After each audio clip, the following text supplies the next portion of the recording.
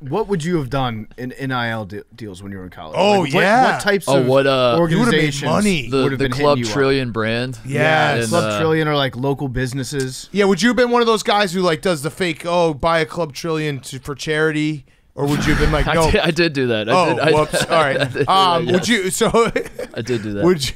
Would you? Would you be making money off Club Trill? Uh, I was told we sold shirts my senior year, and the number I was told was that I, I raised fifty five grand for uh, one of the local charities in Columbus. Wow. And the guy who, which it, it- I would have matched, by the way, if we'd Yeah, known you by yeah, the, back I- then. I- I, I- would have. I would have doubled. how many Club Trill shirts did everyone in this room buy? It was for sick kids too, by the way. Yeah, Oh, no, I, all right, I I would have doubled. I doubled I would have doubled. Yeah. So he would have quadrupled. Um, and the, the the guy who runs the charity still treats me like I'm a saint, and is still like you. It, if I called him right now, he would he would clear a schedule and make time to talk to me on the phone, and like just you know, he he, he thinks that I walk on water because he he'll he'll just pull me aside and be like, you were 21, 22 years old, and you had the heart to help these sick kids, and I've tried to explain to him a million times. I couldn't keep the money. Like if I could keep the money, we wouldn't know would each know, other. Yeah, we would know each other That's but, great. Uh, no, I, I, yeah, it's, it's, it's great. I, it was really frustrating for me because I lost my scholarship. I was, I was actually put on scholarship for two years. Not that I deserved it, but they, the, uh, they had extra scholarships, and I had, um, my, my first years at Ohio State, I was on scholarship, and then I got my scholarship pulled because we had academic problems as a program because we had so many guys going to the NBA early, and uh, so Coach Matta told me he was pulling my scholarship. I had the best GPA on the team, and we were punished for academic reasons. So I, I didn't have a scholarship, but I also couldn't profit off my name. So I was like stuck in this weird no man's land of like, yeah, you're the poster child of why the NIL should work. Now, Yeah. would did Thad Matta have a sense of humor where he like did one of those big viral videos of of, of the team pulling your scholarship? Mm. Because that would be funny. that actually would have been Like, fun. Mark, we got your parents here, and your parents are just bawling. They're crying. They're like, we don't know how we're gonna afford They this. have to sign a check idea. at the end of it.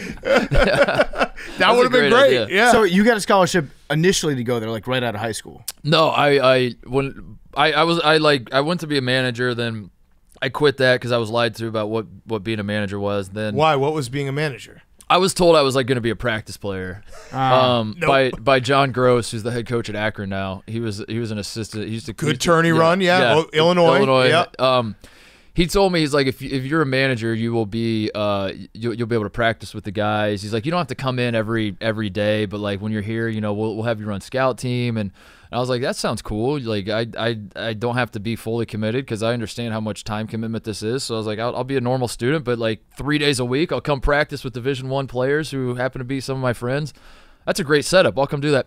Um, and on day one, they had me wiping up Greg's sweat and, and filling up water bottles and filming practice. And I was I was so shitty about it that I quit. And then they asked me to come back because they didn't have enough guys to do five on five.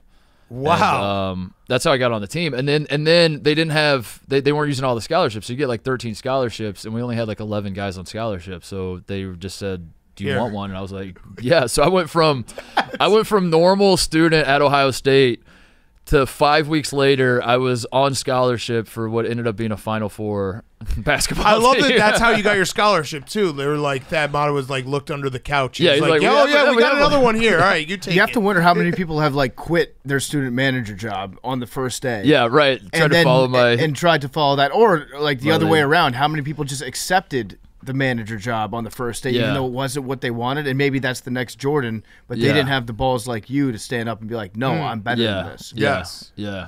It's, What- That's a great what if. Do- Were you? Uh, what what schools were you thinking about going to besides Ohio State? Were you like? Do you ever think maybe I should have just gone, you know, Division three or smaller Division one and played? Um, no, I, I. I thought about it after my sophomore year. Um, when because my freshman year I was fat on the team because I didn't think I was gonna play basketball. So like I graduate high school all summer I do no working out of any kind.